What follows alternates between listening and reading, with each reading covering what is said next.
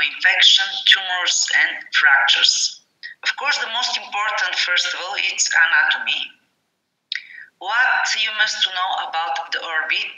Orbit actually it's bony cavities, and in these bony cavities we have globes, extraocular muscles. How many extraocular muscles we have? Six. Six. Four rectus and two obliquus. Except this, we have also nerves, fat, and blood vessels. And the orbit is in pyramidal or conical in shape, consists of an apex, base, and four sides roof, floor, medial wall, and lateral wall. The orbit is built from seven bones frontal, zygomatic, maxillary, sphenoid, ethmoid, lacrimal, and palatine. And this is schematical picture of the orbit. We're gonna start with the roof of the orbit. Roof of the orbit is built from frontal bone and lesser wing of the sphenoid. It's located at just anterior cranial fossa and frontal sinus. Then we have lateral wall of the orbit. Lateral wall of the orbit is built from zygomatic bone and greater wing of the sphenoid. Here you see the roof of the orbit. Medial wall actually it's the most thinnest wall in the orbit is built from ethmoid, lacrimal, maxillary, and sphenoid bones. Forms actually the lateral wall of the sphenoid sinus. And the most important here that this medial wall is the thinnest wall in the orbit. Then we have floor of the orbit, and the floor is built from maxillary, palatine, and zygomatic bones. This is medial wall. I told you the thinnest wall in the orbit.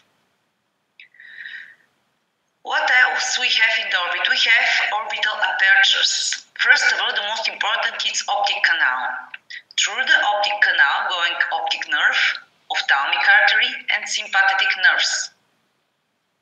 Then we have fissura orbitalis superior and fissura orbitalis inferior.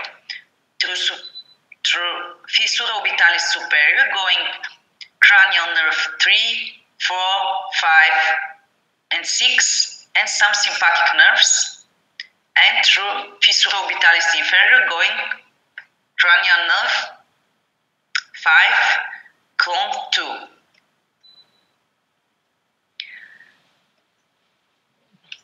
Next step. First was the anatomy, and then I told you that we're going to speak about the clinical evaluation in the orbital disease. It's very easy to remember these six P's. What mean this? If we have some orbital disease, we have pain, we have proptosis, we have progression, palpation, pulsation, and some periorbital changes. I think it's very easy to remember these six P's. First, we're going to speak about the proptosis. Proptosis, first of all, could be unilateral or bilateral proptosis.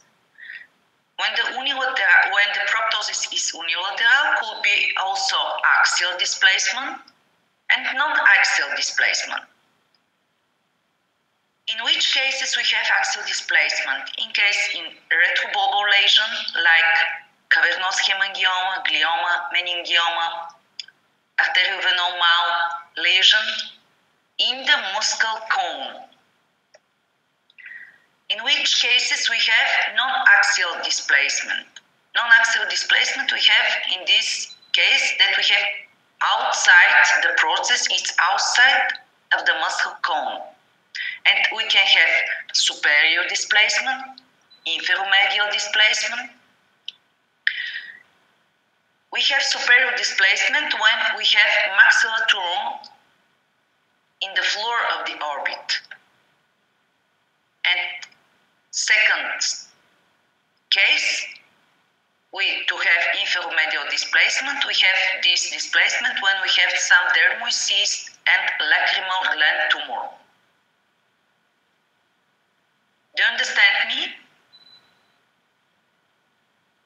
Yep. Yes. Okay. And I told you that the second case is to have non-unilateral, bilateral proptosis.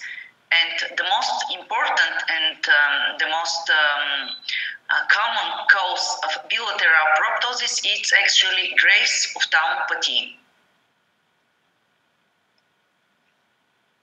Next P was progression. Progression in the orbital disease could be slow and could be fast. And fast progression means days to weeks. Slow progression means months to years. In which cases we can have days to weeks progression.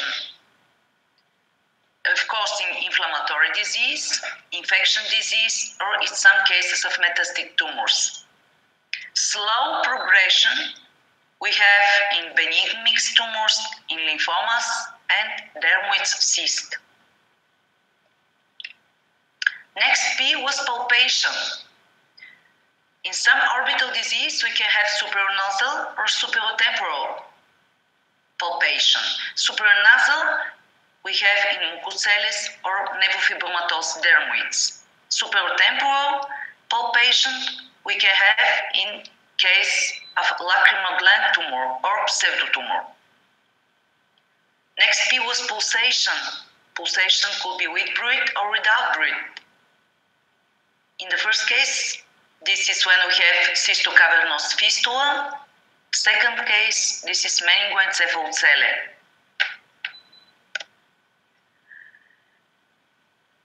Next point it's diagnostic modalities in the orbital disease. We can separate these diagnostic modalities of two parts primary studies and secondary studies. Primary studies, this is the most important studies that we make in the patient that have some orbital disease. This is computer tomography, MRI, ultrasonography, on and histopathology. Secondary studies, this is more specific studies.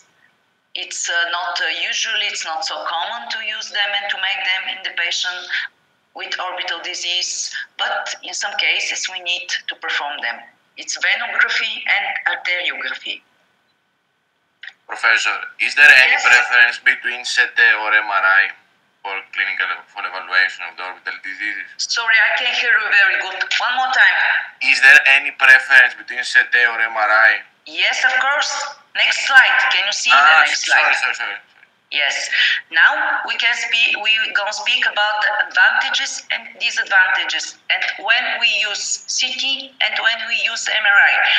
First of all, the most important thing, of course, in Bulgaria, I, I don't know where you're from, but in Bulgaria, the most important thing is price, of course.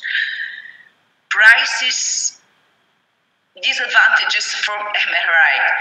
Uh, in which cases it's good, but computer tomography. Computer tomography is good for most orbital conditions, especially for fractures. It gives us a good view of bone, of course, less soft tissue detail. For the soft tissue detail, we can use MRI. Degraded image of orbital apex due to the bony artifact. This is also disadvantages. It's good, computer tomography, it's good for metallic foreign body. The most important thing is that it's less expensive and it's shorter, gives us shorter scanning time. MRI is more expensive. It's um, needed longer scanning time. It's contraindicated for metallic foreign body, but it's very good. Give us very good view of the orbital apex. Give us very more soft tissue details, and it's better for orbitocranial lesions. But for fractures, it's better CT scan. Okay, this is enough for you? Yes, Professor, thank you. This is the most important, of course. There is many, many disadvantages and advantages, but this is most important. Next point, I told you that we're going to speak about these Graves' of ophthalmopathy or thyrotoxicosis. This is very common autoimmune disorder that it's related to excess secretion of thyroid hormone. In many cases, 10 to 20 95%, but this disease occurs in the absence of any thyroid dysfunction. This is strange, but it's true. Females are more affected of Graves of tauopathy, and uh, this common in 40 to 50 decades of life, very common in the female. Most common cause of adult unilateral or bilateral proptosis. It's Graves' ophthalmopathy. About the pathogenesis, um, this is actually hypertrophy of extraocular muscles, is um, cellular infiltration and proliferation of orbital fat connective tissue.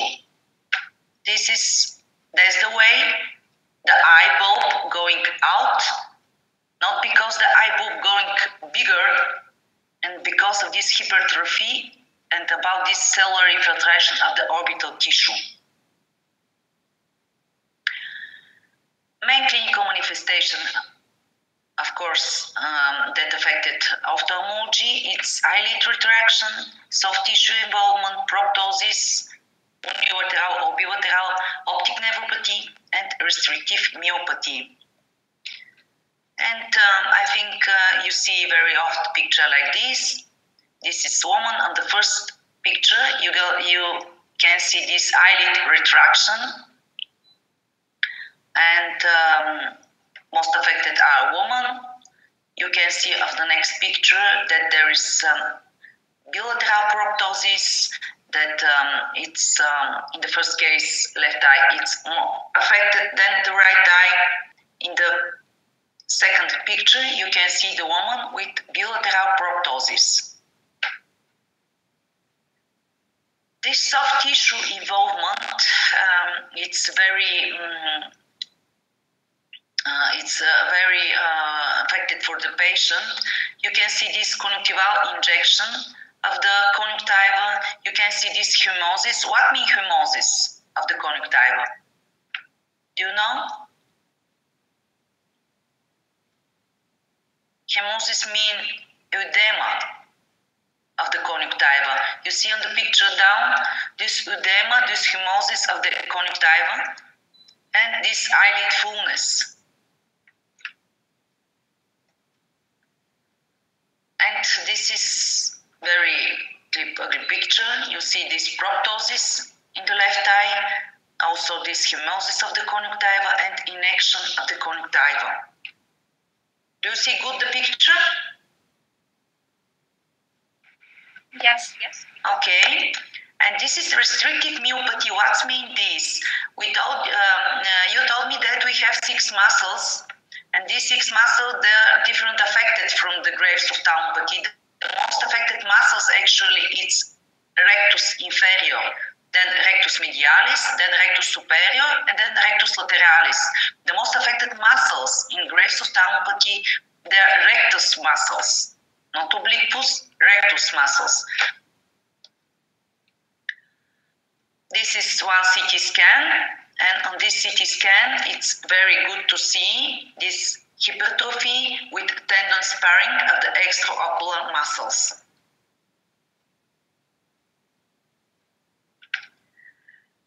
What key points in this disease?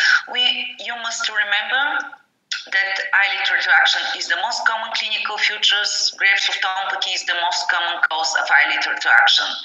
Graves' ophthalmopathy is also the most common cause of unilateral or bilateral proptosis. It's six more times common in female than in male in 4 to 50 decade. And this condition is associated with hyperthyroidism in 90% of cases, but we have 10, even 20% of cases. In these cases, we don't have hyperthyroidism.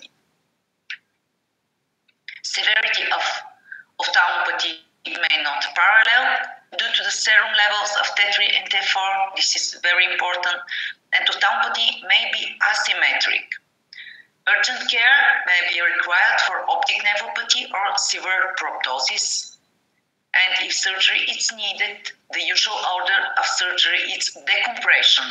But it's not for ophthalmology, it's make it surgeon It's other part of surgeon. It's not make it from ophthalmology, from us, from ophthalmology surgeon. Okay, we're going to the next step about the orbital infection. We're gonna speak about Sorry, Professor. Yes, Um, can Yes. I just ask a question regarding Yeah. the Graves' disease? yes. Firstly, um, why is it more common in females? Never knows. Maybe about the hormones, but um, nobody knows. It's more common in the women's, but nobody knows why. Because of the women hormones and because of uh, a high level of T3 and T4 in the women. Nobody knows. Nobody knows even why. In 10 to 20 percent, I told you, in cases we don't have hy- hyperkeratotoxicosis. Okay, thank you. And then also, um, so it's mainly due to the increased T3 and T4, right? Yeah. So, um, when they want to treat it, yeah. do they just control these hormones and then the eye automatically um, goes back to its normal location?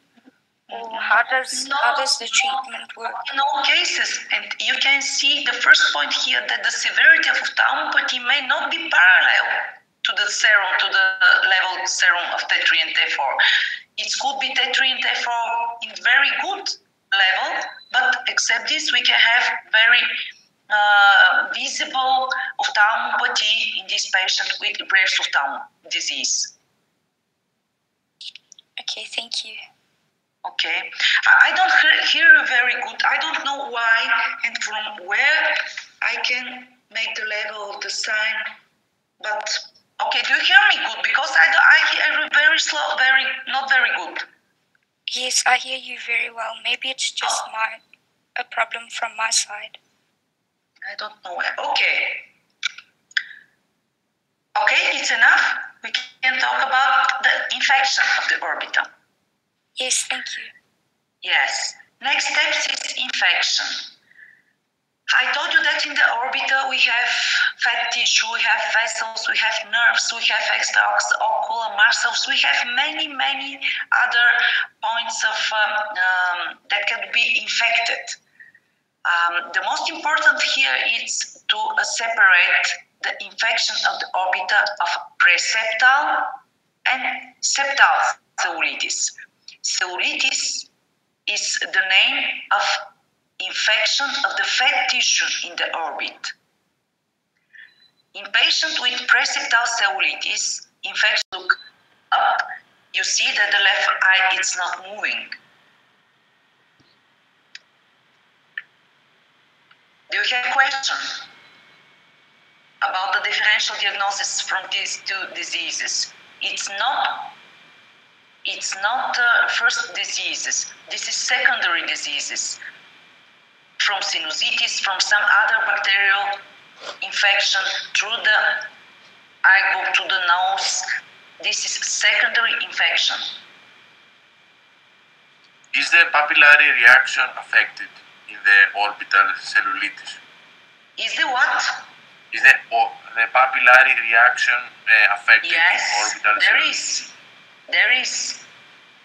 But the most important here is when we have preseptal cellulitis, it's the treatment, it's only local treatment. But when in cases when we have orbital cellulitis or postseptal cellulitis, then the treatment must be also with antibiotic the- because we have also fever, we can have other things that affected the uh, stomatic patient of the patient. It's more serious orbital infection and orbital cellulitis. Then we have orbital tumors.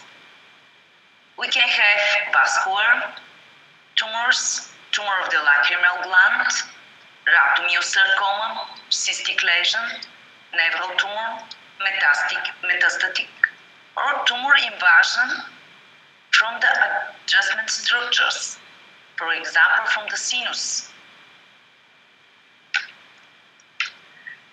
We're going to start with the most common tumor in the orbit, in the child, and this is capillary hemangioma. This tumor increase in size during crying and straining.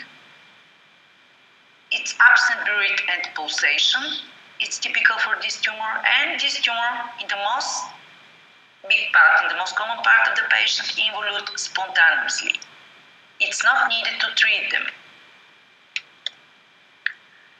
The most common benign orbital lesion in adults is cavernous hemangioma. Also, women are affected, but if you ask me why, I don't know why. Middle-aged woman is commonly affected and has well encapsulated mass of CT scan. The prognosis is very good, and the therapy is surgical excision. Then most common primary but very malignant tumor in the child called is rhabdomyosarcoma. Age onset is 7 8 years old. This tumor has rapid onset of proptosis. The prognosis is not very good and it's serious. The prognosis is serious in these cases and we treated this patient with exenteration, radiotherapy, and combinations with radiotherapy and chemo. What is exenteration? Exenteration is operation surgical of eye bulb and extraocular muscles. Everything, operation of everything, tissue of the orbit eye bulb, extraocular muscles, fat tissue, vessels, everything from the orbit. This is exenteration. It's left only the orbit. So we Okay. remove everything. What? Then we remove everything with this surgery. We remove everything. Enucleation, and it's when we remove only the eye bulb. Exenteration, it's when we remove everything from the orbit. It's left only the orbit, and in these cases, we need artificial eye. Okay? Thank you. Most common epithelial tumor of the lacrimal gland is pleomorphic adenoma. Here, the most affected are males, fourth to fifth decades of life. It's progressive, it's painless, downward and inward displacement. In these cases, we can have downward or inward displacement. This is one dermoid cyst. It's benign tumor. It's well encapsulated, lined by stratified squamous and contain dermal appendages. Epidermoid does not contain dermal appendages. It's benign tumor and we remove them surgical.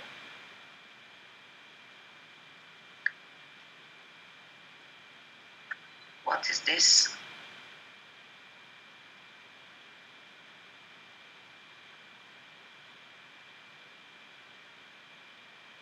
Okay, next step is when uh, I told you that we're going to speak about the fractures of the orbita, and now I have question to you.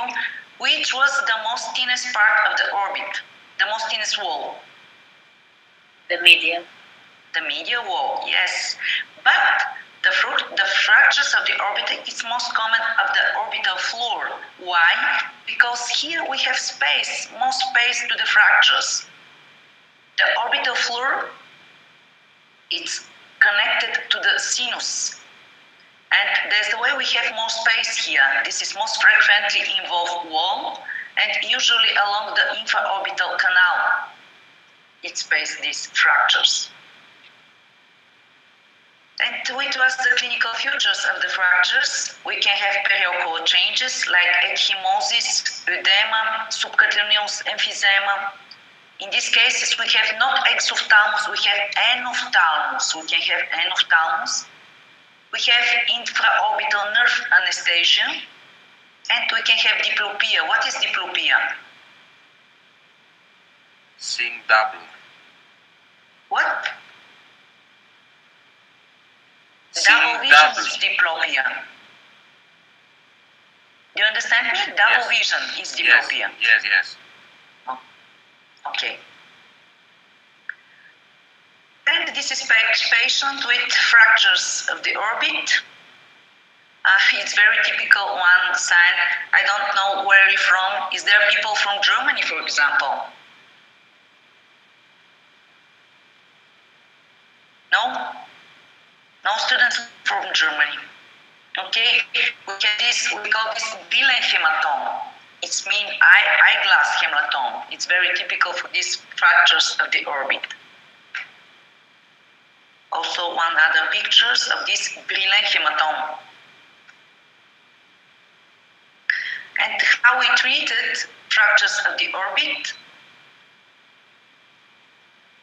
it's not our job. It's not not we not it's not ophthalmologists treated this fractures of the orbit in the most of the cases. It's not surgic, surgical treatment. It's only uh, repukui and like this. Okay, next step is lacrimal system.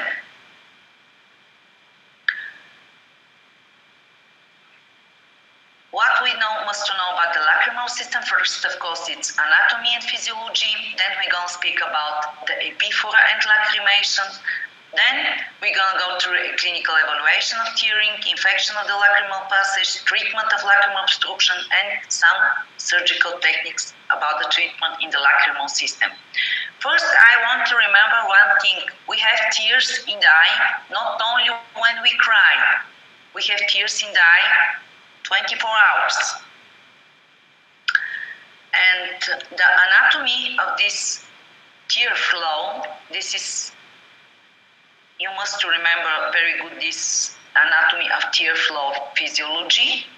First of all, tears coming this puncti lacrimalis, then through canaliculi lacrimalis, it's going to saccus lacrimalis, and then ductus nasolacrimalis.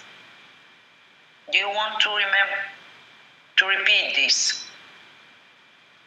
Puncti lacrimalis, canaliculi lacrimalis, saccus lacrimalis, and ductus. This is actually tear flow physiology. So we have two very important things. This is first is lacrimation, then is epiphora. It's mean in both things. It's mean tearing but other part of tearing, other conception of tearing. Lacrimation actually reflects of overproduction of tears. When we have stimulation by irritation of the cornea or conjunctiva. In cases with epiphora we have also tearing, but in this tearing we have normal tear production, but there is some physiological or physical obstruction in the drainage system. Do you understand the difference between these two things? Two tearing, two part of tearing, lacrimation and epiphora. So when we speak about the tear film, we have two parts of disorders. We have dry disorders and wet eye. We can have also drainage obstruction, lacrimal gland inflammation, tumor of the lacrimal gland, and tumor of the lacrimal sac. The most important disease that affected young people, they said, um, um, in this uh, online education, for example, very typical, this is keratoconjunctivitis sicca. This is aqueous fast deficiency. And um, maybe when, first of all, when we speak about the tears, we must to know that the tear film has three phases. First of all, it is mucin, then it's aqueous phase, and then it's lipid phase. Actually, in keratoconjunctivitis sicca, we have deficiency in the aqueous phase of tear film. And the most important symptoms are redness in the eye, burning sensation, gritty sensation. In, in some cases, we can have epiphora. We have, um, this is not so, not for you, it's, if we if you were here in the clinic, we can show you this um, test. It, we call this test Schirmer test. And Schirmer test shows us the quantity and the quality of the tear film. But unfortunately, you're at home, and now this is unbelievable. This, this is sicca syndrome, and this sicca tears of the eye. You see here one dry eye and keratoconjunctivitis sicca, very typical picture of this.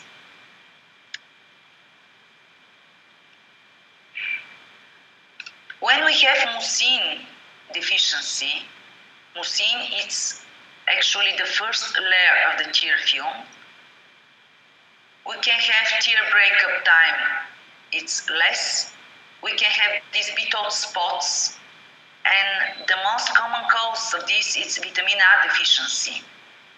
This is this disease. It's rare disease, and um, in uh, this disease we can have in patients with trachomatas, with pemphigoid, with some chemical burns. In these cases, we can have mucin deficiency of the tear film. You see this picture of this tear keyboard board. And the other layer of the tear film is oily layer. Oily layer abnormalities could be uh, from meibomitis, blepharitis. Do you know what is blepharitis? Do you speak about the blepharitis with Professor Dimitrov, I think? Or no, or still no? Inflammation of the eyelids. What? One We haven't spoken, ab- we have not spoken about it yet, but it's inflammation of the eyelids. It's inflammation of the eyelid, yes. Blepharitis and meibomitis, this is gland in the eyelids that produce this oily layer of the tear film. And in these cases, we can have this oily layer abnormalities. You see, do you see this little spot? This is actually meibomi glands, and in these cases, we have blepharitis, inflammation of the eyelid, and inflammation of this meibomi gland. And in these cases, we have insufficiency of the layer film of the tear film. This is also inflammation of the eyelid with meibomi. How we can manage this dry eye disease? We can put artificial tears first. We can make it lid toilet and compress with occasional use of topical antibiotics. We can use mucolytics for filamentary keratitis. We can use vitamin A when we have a sufficiency in the vitamin A. We- can put punctal plugs that affect the tearing also.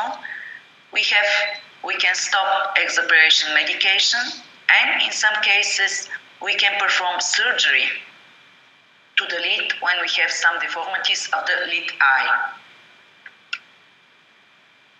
In which cases we have, we have epiphora. Epiphora was tearing, but when we have normal tear production, we can, in this, in which cases we can have epiphora. The most common part is when we have lacrimal drainage system obstruction. This is the most important cause of epiphora. In these patients, we can exclude also dry. We must check punctal position and patency. And we must apply lacrimal sac pressure looking for reflux from mucocele. Or we must test lacrimal drainage patency. We can use in the clinic some specific test of the patency of the lacrimal system, fluorescein test, Jones test, syringing and probing, and uh, in some cases we can use also CT or MRI scan for the see of the drainage system in the eye. And which causes are very typical for this obstruction in the lacrimal drainage system? The most common causes are congenital, but we can have also acquired causes. For congenital causes, the most important and the most obvious is absence or atresia of the canaliculi or puncta, incomplete opening of the ductus nasolacrimalis, or they could be associated with other craniofacial facial abnormalities. In cases of acquired drainage system obstruction. The most important is senile. In the adult people, it's very typical punctal stenosis. Our punctal stenosis could be associated also with chronic infection.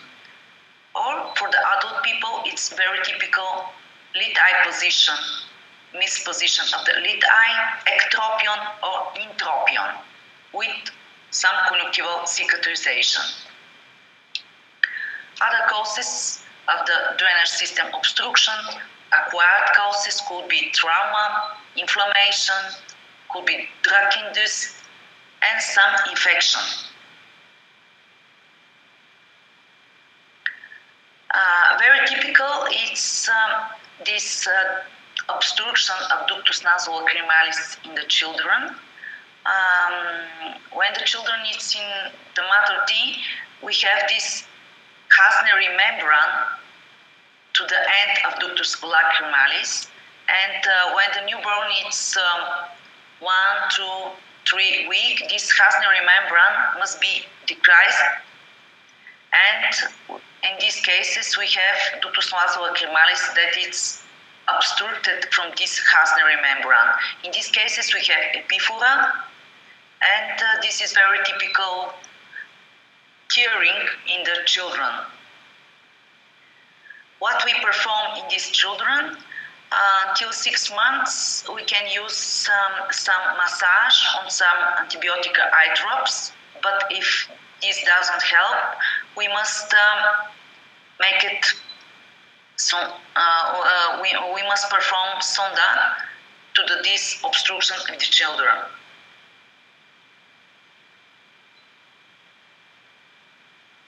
How we treat this drainage system obstruction? Treatment depends, of course, on the site of obstruction and falls into the ophthalmologist realm. Puncti may be dilated, lid malposition must be corrected, recanalization operation must be performed, treat infection causes like canaliculitis, dacryocystitis must be treated, and um, recurrent dacryocystitis require DCR. You see this punctilacrimalis obstruction, and this point we must destroy this obstruction of the punctilacrimalis. Uh, very uh, often inflammation in the adult people it's canaliculitis or inflammation of, of this canaliculi lacrimalis.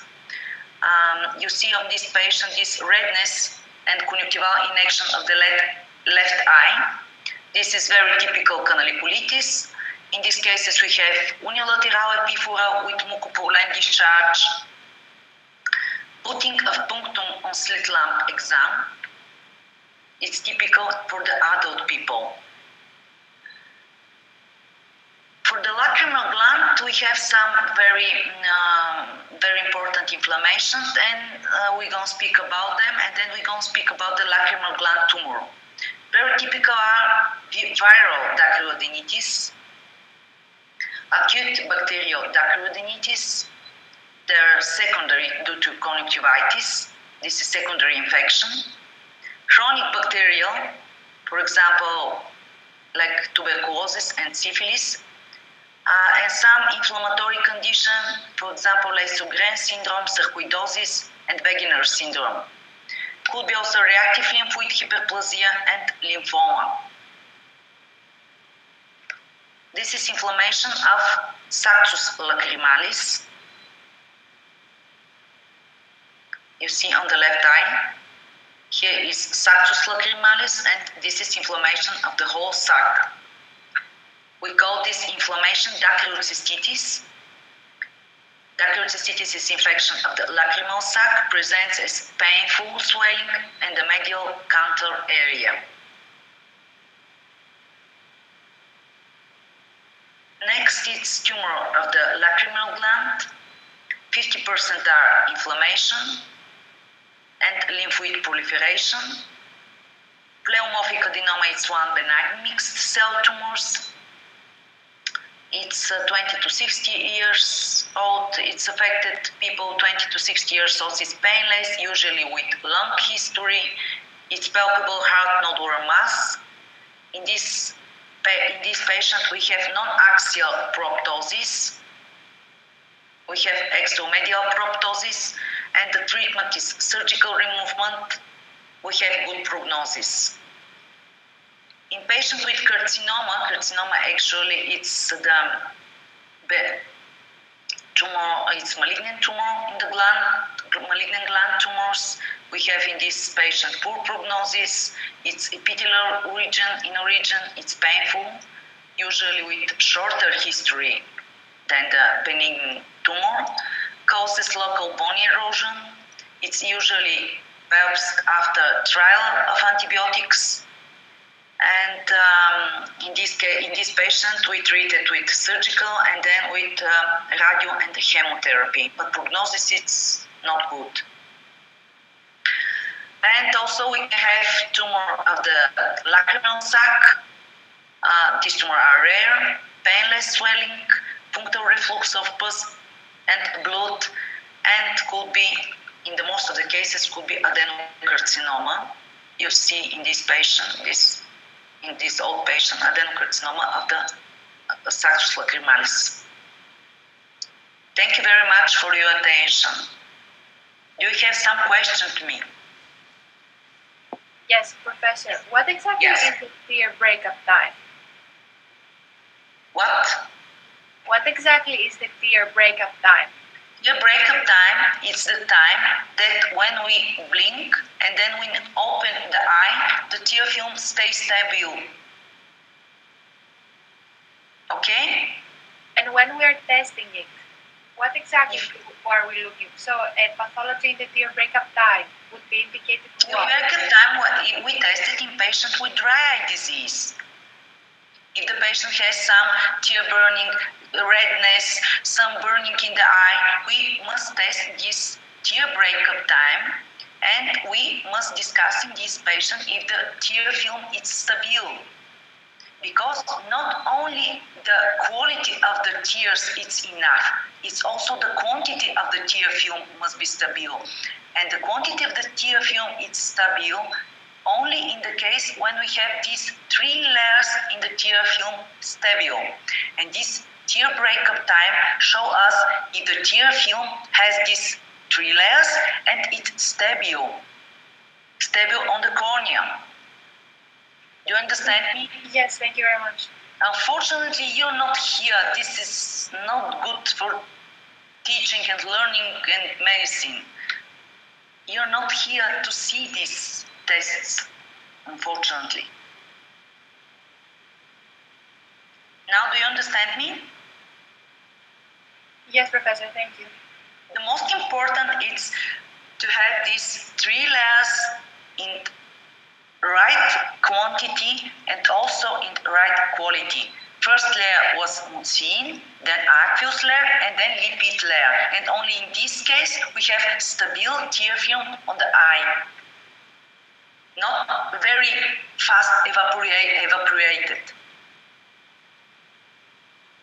Okay? Also, one more question. In the Yes. syllabus, it mentions a Mikulicz syndrome. Mikulicz syndrome. Yes. What Yes, exactly this, is it? it's also dry, like Sjogren's syndrome, like Mikulicz. This is autoimmune disease. It's other that it's affected other gland in the eyes. It's autoimmune disorders, or it's affect, and it's affected also with dry disease. We have more two lectures with you. I'm going to speak about the intraocular pressure and glaucoma. It's I think it will be on 12th of May or something like this, or 10th of May, I'm not sure. And then we're going to speak about also about the lens and the vitreal ball. And if you have some questions to me about this lecture, you can ask me also next time when we meet. Of course, I can leave also my email and I will answer all of your questions. When we study, when you study at home, you don't understand something because I know that this is very difficult for you to stay home and to study medicine. Okay? Yes, thank you very much, Professor. Thank you very much for your attention. I wish you a good day. And we'll See you next time.